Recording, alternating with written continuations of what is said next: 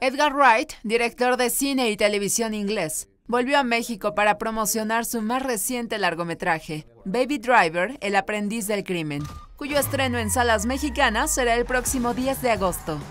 Uh, I'm really glad to be back. I haven't promoted a movie in Mexico for 10 years. Una película the last uh, 10 time I was here was for La Hot Fuzz, vine aquí fue para Super Policia. First, para Super Policía. Um, and uh, I've been to Mexico a couple of times just for veces, fun and for travel. de But this is the first time I've been back in Mexico City for vez que 10 estoy de years. vuelta en los últimos And, 10 años uh, I love being here and I wish I had more Ojalá time. tuviera un poco más de tiempo.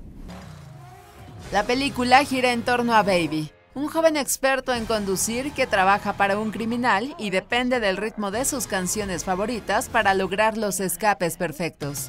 I think the two challenges of Creo the que los movie dos retos uh, para esta would be película serían car chase sequences are las very secuencias de difficult to persecuciones shoot, en coche son and I think difíciles de filmar.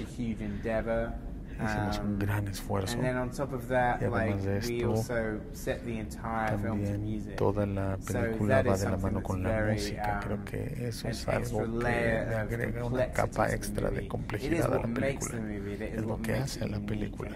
Lo que la hace única es la So inspiración de la película. it, um, Pero es algo que uh, la, you know, like sort of like sophisticated la hace and complicated. sofisticada o complicada.